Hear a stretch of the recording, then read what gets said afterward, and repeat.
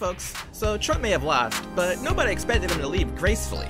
In fact, his administration might have saved their worst moment, or at least their most embarrassing, for last. When his campaign team announced a press conference at the Four Seasons in Philadelphia, his fans and reporters alike showed up at the luxury hotel spot, only to find out that, of course, Trump meant Four Seasons Landscaping, located next to the crematorium and adult bookstore.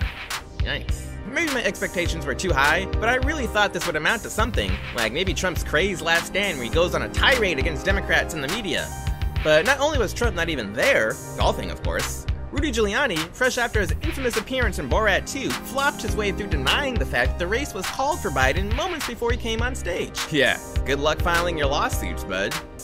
But if nothing else, and it probably didn't do anything else anyway, the failed conference provided plenty of entertainment for the internet, which took the absurdity of the situation and ran with it. And it just kept running, until the Four Seasons landscaping building was recreated in VR Chat, a popular video game for virtual reality headsets, and subsequently taken over by virtual furries, which needs to be seen to be believed. Well, that was lowdown for this week. Stay tuned to find your nearest MAGA Hat donation center.